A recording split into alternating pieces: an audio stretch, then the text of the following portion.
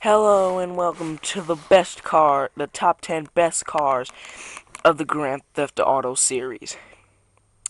Now, coming in at number 10, we have the Esperanto.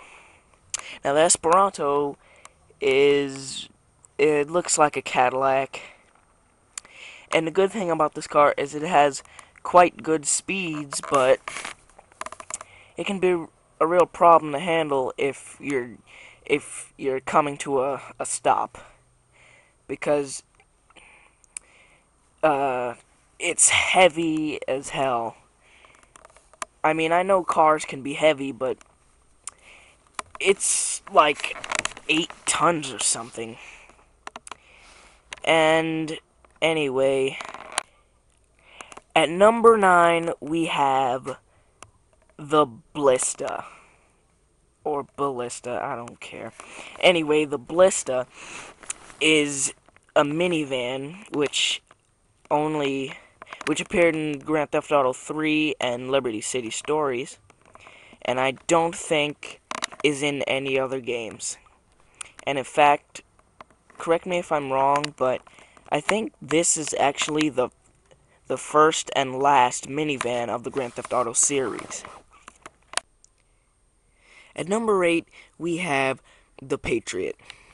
Now, the Patriot is obviously based off a Humvee. And and is also one of my favorite cars in the game, but it's not that great. Anyway, the Patriot has good good acceleration, a below average top speed, and quite good handling. Well, because it's a Hummer, it's also good for off-road. Well, of course. Anyway, the only problem I have with this vehicle is that in San Andreas, they cut out the ability to change the color of the car. It's now only a military vehicle, which only comes in brown or beige, army colors, you know. At number seven, we have the Washington. Now, the Washington was first introduced in Vice City.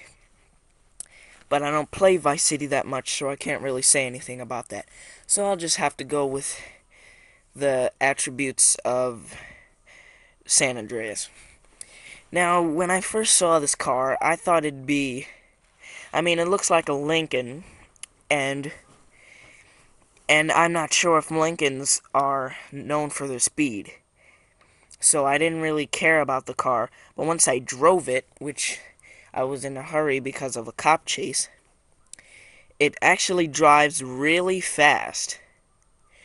I mean, I had no idea that this car was fast like that. Okay, I know it's not going to be slow as much, but it was damn fast. At number six, we have the burrito. Now, the burrito just looks like a, a Dodge Caravan, but it's been modified and is by far my favorite van of the Grand Theft Auto series. One, it looks cool. Two, the attributes are way better than the Rumpo, than the Rumpo or the Pony. And the only problem with it is that it's a little top heavy, so it'll flip once in a while. At number five, we have the. Uh, I know I'm gonna pronounce this wrong. The Yosemite, Yosemite, something like that. Anyway, the pickup truck is very huge and very heavy so it won't flip over as much as you think.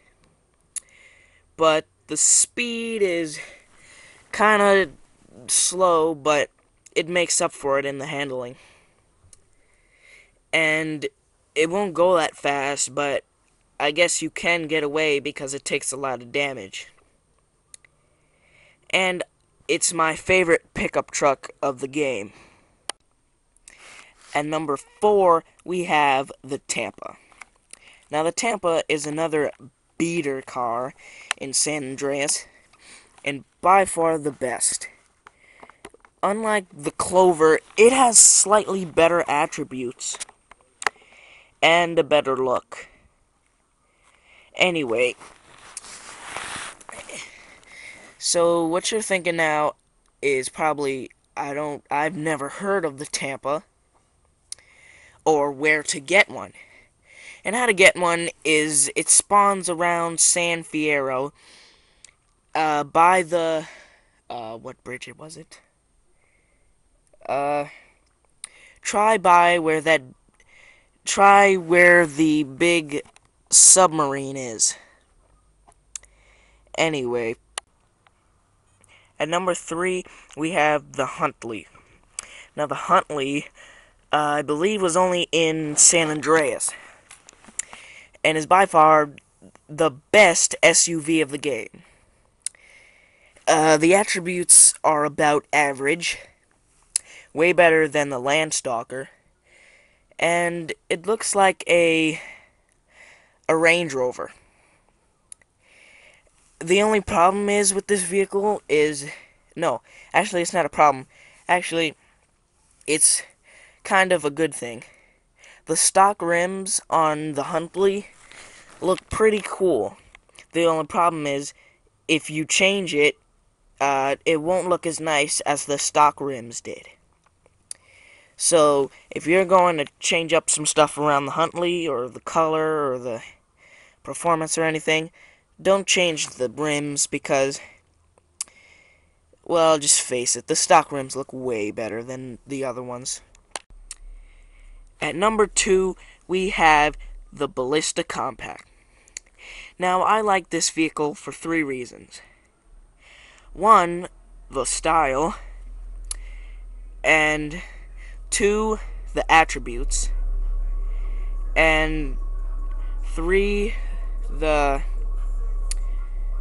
uh, I guess there's only two. Anyway, the style, it looks like a Honda of some sort, and the attributes are quite good. It's fast. The handling is tight. I mean, really tight. I mean, you didn't.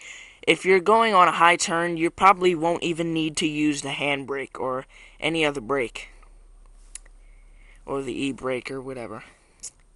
Anyway, there's some rumor going on that the Ballista Compact is supposed to be the compact version of the of the original Ballista, the minivan. And that could be true.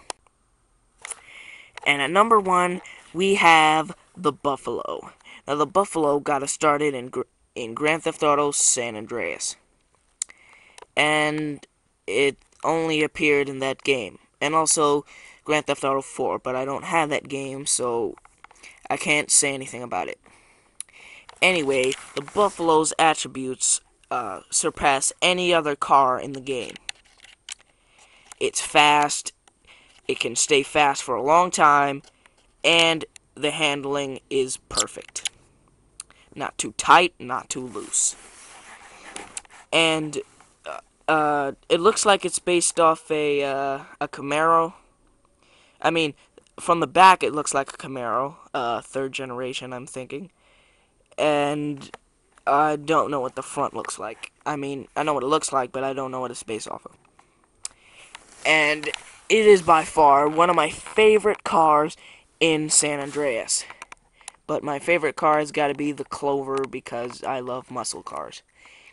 Anyway, that'll do it for the best cars of Grand Theft Auto. See you later.